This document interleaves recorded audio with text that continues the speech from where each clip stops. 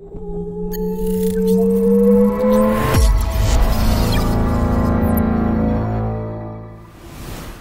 dealing with the complex projects is that we usually have a uh, master level that we use.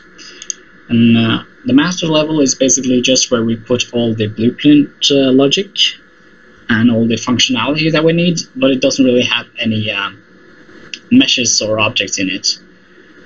Because those levels we want to be able to stream in rather than having them opened as the uh, persistent level. You'll see why in a second why this is important. You can absolutely have all your logic and all your meshes and all your uh, materials and everything in in one level, but it can get really messy pretty fast if you're working with a, a complex project. So I recommend setting it setting it up this way with master blueprint uh, level and then streaming in the levels into that one. So how we would do this is to go into the window and open up the level window.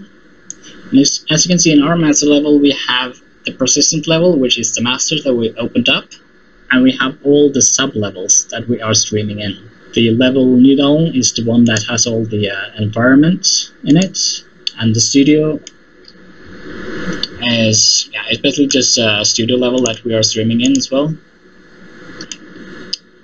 One uh, important thing about working with uh, levels like this is to make sure that you are working in the persistent level meaning the level that you actually opened from uh, Pixotope.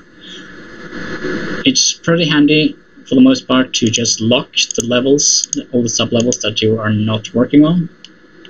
That just prevents you from uh, making changes that you don't want to do because if they're not locked, then you see that all the objects in that level also becomes uh, visible in the uh, world outliner. If you lock those, then it's no longer possible to uh, to select those in the sub-levels anymore.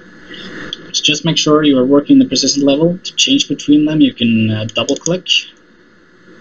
Can't do that now because it's locked, but it's make sure that this one is uh, selected and just double-click it to to confirm that it's actually the level you're working on.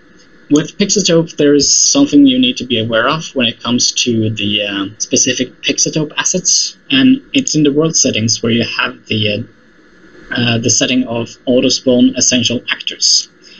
And this basically just makes sure that whenever you open a level, it's going to give you the Pixotope actors that you need, like the uh, tracked camera, the camera root, uh, the material handler, and post-processing volume, because those are the essential actors that you need in order for things to work out in Pixotope. But the problem is that it's sometimes possessing or not possessing, it's spawning those essential actors in the sub-levels. And that can get really messy pretty fast because you want to be able to control those uh, actors within your master level. So what you actually need to do in order for this to not happen is to uncheck the auto spawn essential actors in all the sub-levels. But you cannot jump into the uh, levels like this because even though you can start to edit, edit things in this uh, in this panel in the level the auto auto spawn essential actors is not going to work you're still going to uh, to override the setting in the master level for that. So in order to make sure that it's off in the sub levels you need to open each of those levels manually and then uncheck that tick box.